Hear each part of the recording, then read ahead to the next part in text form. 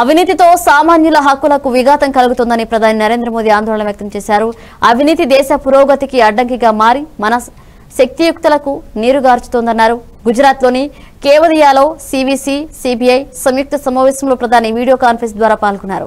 అవినీతికి కట్టడి చేయడంలో గత ప్రభుత్వం విఫలమైందన్నారు. తమ ప్రభుత్వం అవినీతికి ధీటిగా ఎదుర్కొని దళారుల ప్రమేయం లేకుండా ప్రభుత్వ పథకాలు అందుతాయనే విశ్వాసాన్ని ప్రజల్లో నెలకొల్పిందని చెప్పారు. प्रिवेंटिव विजिलेंस पर काम करें। अगर हम सतर्क है, अलर्ट है तो ये काम आसानी से किया जा सकता है।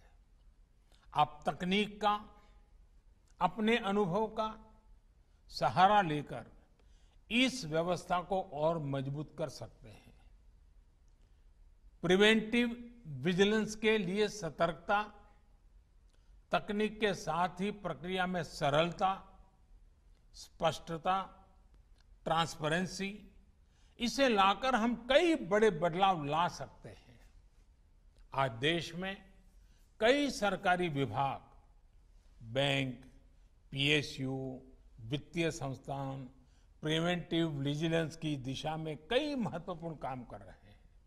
हम सभी ने अपने घरों में अनेक बार सुना है prevention is better than cure आप कोशिश करें कि प्रिवेंटिव विजिलेंस आपकी कार्य प्रणाली का हिस्सा बने।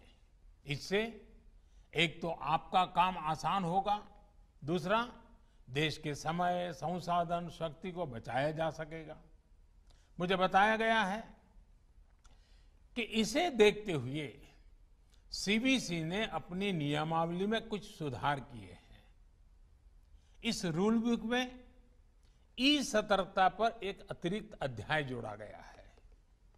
अपराध करने वाले तो हर महीने, हर दिन नए नए तरीके खोज लेते हैं। ऐसे में हमें उनसे दो कदम आगे ही रहना है।